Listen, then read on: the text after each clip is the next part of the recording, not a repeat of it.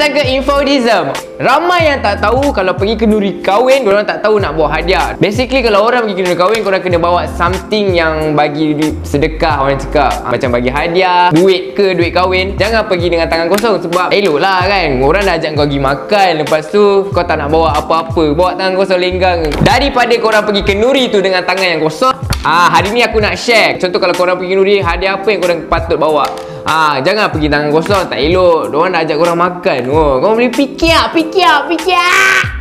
Yang pertama adalah tuala, towel, tuala, towel, tuala, towel. Pasangan pengantin ni baru kahwin, pindah ke rumah baru. Rumah baru orang tak ada towel weh. Takkan nak pakai towel lama, towel bujang. Mesti nak pakai towel kahwin. Jadi towel tu bukan untuk orang juga, untuk guest-guest yang datang rumah orang, rumah baru orang. Ah, so towel tu boleh bagi dekat orang-orang yang datang. Sebab orang kan baru kahwin, duit pun tak ada sangat. Orang pun tak well prepared sangat. So dekat sini bila korang bagi towel, korang nak mula membantu dan ringankan beban orang. So bagi lah towel. Towel IKEA kot. Bagi je, tak mahal pun.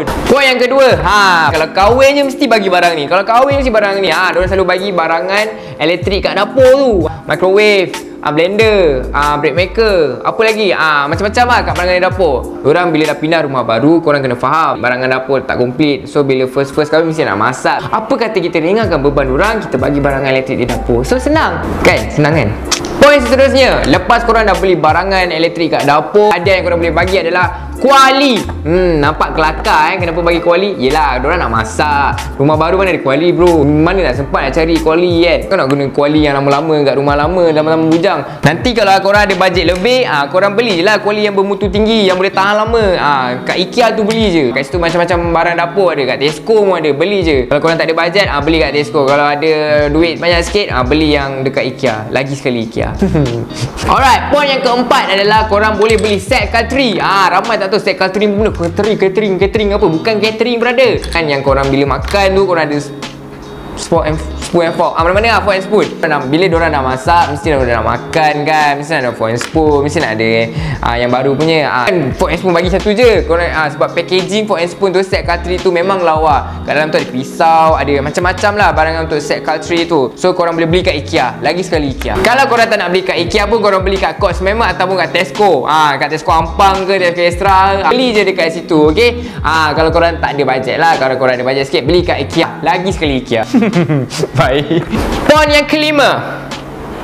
Korang patut beli bantal. Hadiahkan orang bantal Sebab rumah baru Orang perlukan lagi banyak bantal. Contoh eh bila orang lepas kahwin Bila korang bagi hadiah bantal Bila uh, tetamu Macam cousin-cousin semua lepak rumah Ramai-ramai bermalam Lepas dah habis event ke kan? Untuk bagi je Hadiahkan bantal tu And bantal tu Diperlukan oleh untuk guest-guest orang yang Bermalam dengan orang Lepas lepas orang punya Apa Wedding Solemnization tu kan? Ah, uh, Orang punya sanding lah Orang cakap So bantal tu kegunaan dia bagus. Uh, Bukan untuk orang partner yang baru kahwin ni Untuk orang-orang yang datang rumah. Uh, So belilah bantal. Beli dekat Korang dah tahu jawapan dia.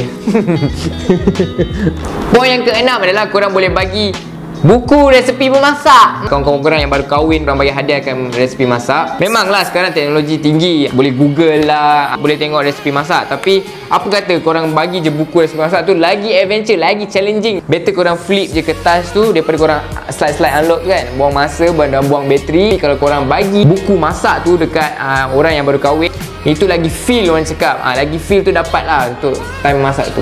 So buku masak tu korang Jangan beli kat IKEA pula korang beli kat MPH ah, kedai-kedai buku yang berdekatan hmm, tak nak pun IKEA dah.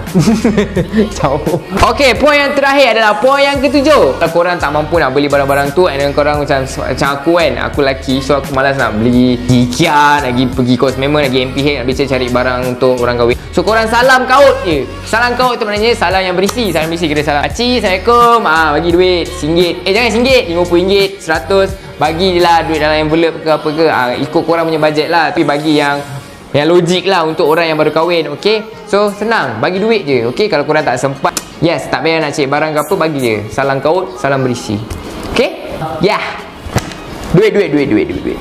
Okay, walaupun apa pun Bila korang nak kasih hadiah Korang kena tulis note sikit Ataupun kat hadiah tu Korang tulis note daripada siapa. Ah, Contoh saya nak bagi dekat ex saya yang baru kahwin kan? Ah, Saya bagi ah, daripada ex awak. Ah, Muhammad Daniel bin Muhammad Isyam Tak terperanjat dia. Ah, Bukanlah cakap apa Kira macam Bila korang beli hadiah Korang mention korang punya nama. Sebab nanti bila pengantin tu terima Korang nak cakap terima kasih kat siapa. Ah, Korang dah tahu dah nama siapa bagi. Cukup sampai situ saja. Terima kasih siapa yang menonton. Aku harap poin-poin yang aku kasih ni Boleh membantu korang. Pergi kenduri kahwin nanti Korang tak payah fikir lah korang nak buat apa? So jangan lupa Like, comment and share Farid Diesel Production.